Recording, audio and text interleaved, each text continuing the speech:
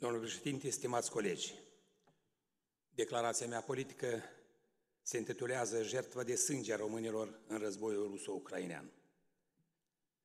Minoritatea română din Ucraina, numărând jumate de milion de persoane, plătește astăzi un greu tribut de sânge în războiul dezlănțuit de Rusia în Ucraina. Mulți dintre fiii națiunii române și-au dat viața pentru Ucraina după 24 februarie 2022. Anterior au căzut cu moarte de erou mai mulți etnici români în Donbass. O evidență a eroilor români căzuți în Ucraina este disponibilă doar pentru autoritățile de la Kiev. Referindu-se la o minoritate de trei ori mai puțin numeroasă decât cea română, ambasadorul ucrainean la Budapesta a declarat la 1 august 2023 că în jur de 400 de etici maghiari sunt mobilizați în două unități din armata ucraineană și 34 au fost uciși în luptă. Ambasadorul ucrainean la București nu a comunicat niciodată câți eroi români și-au dat viața în actualul război. Cu toate acestea am reușit să aflăm din presă câteva nume ale eroilor noștri căzuți în teatrele de război din Ucraina și iată câteva dintre acestea.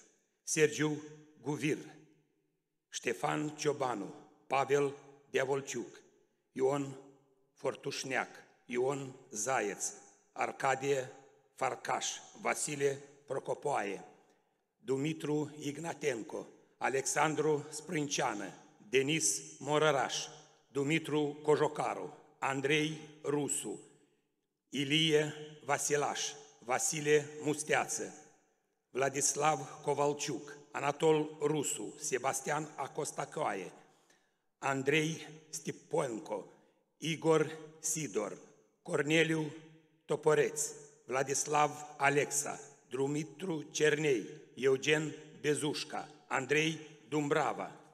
Majoritatea dintre ei au lăsat în urmă văduve, îndurerate și copii români orfani. Jertfa de sânge a acestor români confirmă că minoritatea română merită un tratament civilizat care să excludă orice presiune în vederea deznaționalizării.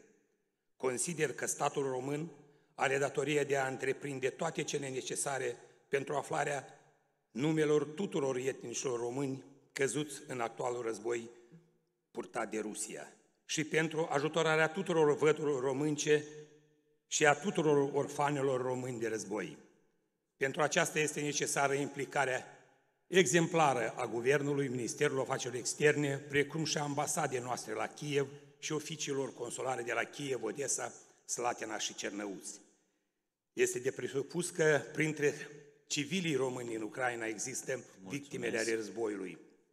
În condiții în care statul înrudit România nu a procedat la evacuarea din zonele de conflict a persoanelor aparținând minorității române, cum au procedat bunăoară în raport cu minoritățile lor Republica Mulțumesc. Polonă și Israelul. State care au desfășurat operațiuni umanitare speciale de salvare și evacuare, atât cu acordul părții ucrainene, cât și cele ruse. În acest sens, voi interpela oficial factorii guvernamentali responsabili. Mulțumesc. Glorie eternă eroilor români căziți în Ucraina. Boris Volosatei, deputat AUR, circumscripție 43 diaspora. Mulțumesc!